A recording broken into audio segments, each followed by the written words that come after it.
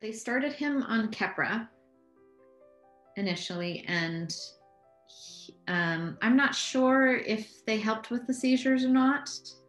Um, they didn't make them go away completely, and it put him in a terrible mood, and it was really unbearable.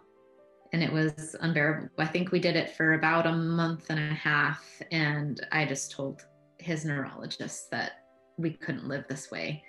Um, because Soren is very sweet and even keeled and he um, just an easygoing sweet kid and the day after he started Keppra, he had an hour and a half long tantrum.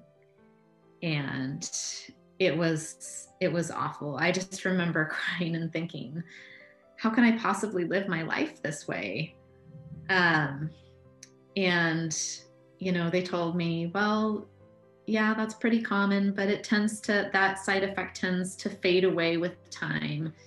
And it got a little bit better but it still was like walking on eggshells around him all the time. And he was just he was just unhappy and angry. And i imagine you know he was only he was about to turn 4 and he just didn't understand you know what was happening to him or why he felt that way. And it was it was really hard to to deal with him that sort of behavior but also to watch him struggle like that was just broke my heart